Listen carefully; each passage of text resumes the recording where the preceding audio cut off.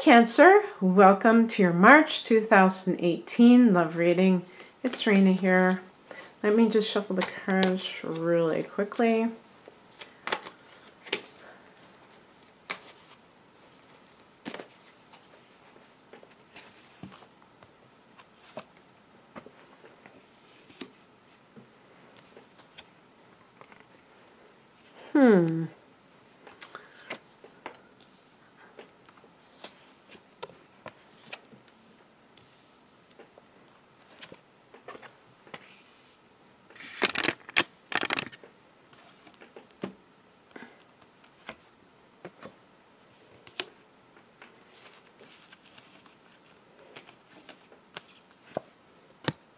Okay. Um, because this is not a card I associate with endings, I'm going to look at what's at the bottom of the deck. Okay. I like this one a lot better, but um, that'll be a clarification card. The Nine of Swords is kind of like a state of mind. Not a real nice state of mind either, but it's not the kind of um, card that I associate with wrapping up a reading. Okay, so let's look at the heart of the matter. We have a lot of swords in this card, in this uh, spread. Uh, the King of Swords. Now, the swords relate to air signs. The sign, the air sign that I believe, if I were to tally it up, that the average Cancer person ends up with is a, is a Libra. The other air, maybe a Gemini, that's a sign adjacent to yours, and the other one is Aquarius. The thing about relationships between air signs and water signs is that, or let's just talk about your sign, uh, Cancer, is that a Cancer person, um, it's very easy for you to jump to the conclusion that the air sign individual doesn't care enough. And this may be the case. You may be right in some instances, or you are just so different from that type of person that you don't realize that there are different ways to show that you care. And so if it's not in the way that you're used to, or that you are acclimated, yeah, towards, then you may assume it's inferior, wrong, yeah, inadequate, what have you. And so this can be an older air sign, um, or this person may have those that analytical mind that an air sign person does. Maybe they have air in their charts, whatever. But the point is, is that they're coming from a mental point of view more than a touchy-feely one. And this person may be out of touch with their feelings. That may be exactly what's going on. Um, the other possibility is that this is how your father was, because kings can be fathers. And it's possible that you're projecting this onto every man that you you know get involved with and expecting them to be different than what your father was and maybe perhaps you are attracted to detached men who can't tell you that they love you because that feels familiar. Now, in the past position, we have a, a card that connects with someone who is trapped by their own limiting, self-limiting beliefs. And one thing I wanted to say, swords also represent thought. So thoughts can work on our behalf or against us. We can think positive thoughts that empower us or negative ones that keep us in chains or or, you know, bound up and make us feel like we can't move, like we're oppressed. But it's really something we're doing to ourselves.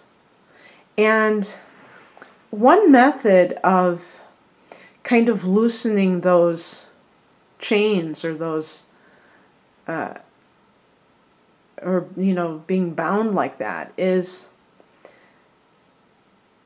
self-inquiry and self-inquiry is a technique you know i don't know who invented it but uh, they use it in spiritual practice in order to get to the bottom of our thoughts because sometimes we just think thoughts and assume that they are facts when they're not. They're conditioned beliefs. And um, this can involve how we can prove that somebody else loves us. If you are with someone and you say, keep saying to yourself, he doesn't really love me, then you say to yourself, is that true? And that, that one of the people who have uh, popularized, who has popularized this, is uh, Byron Katie. And she has something called The Work, which are four questions uh, that you ask yourself. But one of them is, and I think it's the first one, is, is it true? And actually, that's, you don't, I don't think you need all four because you can't prove anything that you think not really, because there's just too many possible outcomes. Just because somebody doesn't show affection the way that you would like them to doesn't mean that they don't care. However, it is possible that that person isn't right for you. And the Eight of Swords, the problem with that person is that they can't seem to make any kind of decision because they're so caught up in their own uh, conf- conflicting beliefs that they're not even able to free themselves completely from the situation. But, um, you know, the other possibility too is forget about uh, the King of Swords being another person. Maybe this is something that you have adopted within yourself. It's possible that you were hung up on someone and your emotional nature, being a Cancer, kept you trapped in a in a in a, a bad relationship until you finally decided that you just had to get out of it and and not allow your emotions to run the show anymore. And that's the King of Swords. And now you're in a new phase where you're not looking back. You're looking you're you're not even looking ahead. You're just kind of like a nomad. So you're just going wherever you feel guided to in the moment, which is very atypical for a cancer individual. Usually cancers are the ones with the uh, the road maps, extra jug of water, and uh, you know they're very well prepared, packing everything that they can think of in case of an emergency. You know that's you usually are thinking about those things, but there's something inside of you. Now you did have the full moon in your sign at the beginning of the year, and maybe that kicked off this part of you that said, okay, that's the end of that cycle of who I am. And now I'm going into a new phase of my life. And you are going to have a solar eclipse this summer, Cancer, 20 degrees, July 12. Mark that date on your calendar. So, the higher message the spiritual message, whatever you want to call it, is a wheel of fortune. And that's like um, being in alignment. So, you know, even timing wise. Oh, you know what's interesting? This card connects with Jupiter, and Jupiter is in Scorpio. Uh, guess what house Scorpio is for Cancer? It is your fifth house of romance. Jupiter in that house can indicate that you have more opportunities to fall in love um, during the time that uh, Jupiter resides in this fifth house, which is until the second week in November of this year. So, if you have been feeling uh, that your options were limited, now maybe you feel more that there's more abundance, there's more possibilities, and you're like um, a babe in the woods. You know, everything is before you. What crosses you is represented by the Sun card. So um, this this is interesting because the Sun rules the fifth house, where I'm talking about this transit of Jupiter. Um, as a this is actually um, even if I read it as reverse card because of how positive the Sun is. I mean, it represents love. It represents prosperity, healing, children it just may mean that these things will come in their own time. Perhaps the timing needs to be right. Um, it, it's interesting, during most of the month of March, the sun is in another water sign, this time um, Pisces, and that is your ninth house of the, it's the God house. It's the um, the house of the higher mind, university level uh, learning and teaching, and foreign travel. So it's the house that Jupiter rules. So it's possible that um, the influence in March is more of a philosophical nature and perhaps as time goes on, you will um, be able to click with what is happening. You know, you may be at that early stage where you're still exploring things. And if you've gotten out of a long term relationship, um, that definitely would mean that you would need that time to kind of decompress, so to speak. So the sun card may be meaning that there's love coming up for you, but it's the it's in the future and not necessarily this month. So don't just assume that oh gosh, you know, it's not going to happen. No, the this is the spiritual message. So maybe it's saying hang in there, you know. Uh, the advice or what's coming in is represented by the Seven of Swords. This can be a card of going it alone. Um, sometimes this card indicates physical theft or deception, like like cheating. Um, and but in this context, I think it's more about you taking that time for yourself and being more independent. Uh, just like with the Fool, you know, almost like a connection to the Fool card, where you are exploring yourself your life as an individual instead of as part of a couple, perhaps. And this is where we get, okay, this is, um, the, the card I got as the outcome is the Nine of Swords, which connects to anxiety.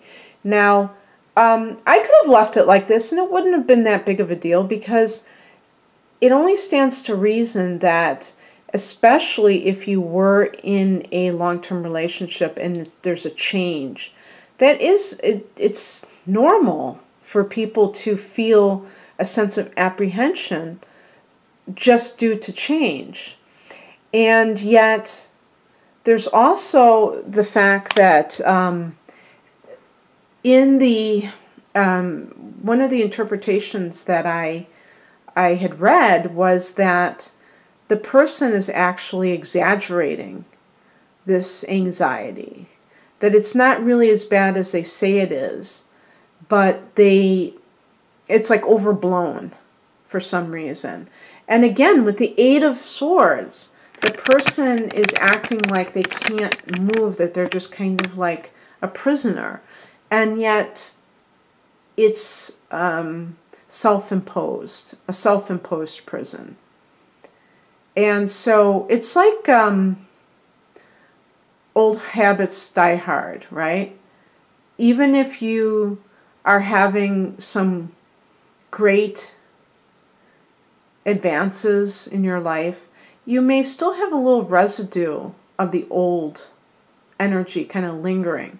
So I did pick an additional card and I got a very positive card and something that the average cancer person is down with. And it's the Four of Wands. It's the card of the happy home, happy marriage.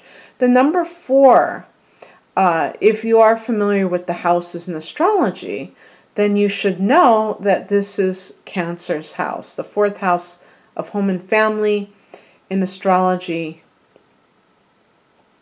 connects is ruled by Cancer that house, and um, the number four itself stands for structure. So that's what this card represents. Is that um, is what you're? I think a lot of Cancer people, their ultimate goal is to have the kind of household where they go home and there's it's like a, um, a refuge, right? Where you it's like your um, nest. You can go home and it's it's a buffer from the world. And if you have someone there who is a loving partner, like this person, potential, um, then all the better. And um, that's what you're looking for. So, with that um, King of Swords at the center, you may have been with someone who made you feel lonelier even though you were in the house with that person. And it may have made the house seem cold. I mean, um, the wands are fire is fire energy, and fire is warmth. Fire is um, affection. Okay, um, the fire signs are affectionate. So maybe this person will be a Leo, because uh, that's the sign that the sun rules.